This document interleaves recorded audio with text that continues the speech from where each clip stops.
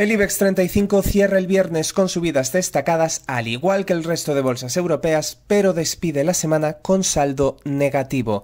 El selectivo español dice adiós a cinco días en los que han predominado los números rojos debido a la incertidumbre por la falta de acuerdo sobre el techo de deuda en Estados Unidos. Lo último, que el acuerdo parece más cerca, aunque todavía no se ha llegado a él la tónica de los últimos días, vamos.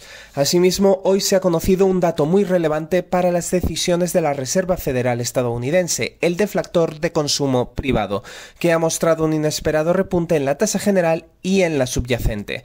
La Fed, por cierto, ha mostrado en sus últimas actas una importante división entre sus miembros sobre el rumbo que deben seguir los tipos de interés. El consenso espera una subida de 25 puntos básicos en la próxima reunión del Banco Central.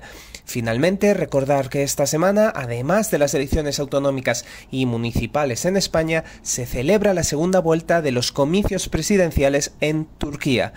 El lunes valoraremos todos los resultados. Además, cabe recordar también que esa misma jornada Wall Street está cerrado por el festivo del Memorial Day.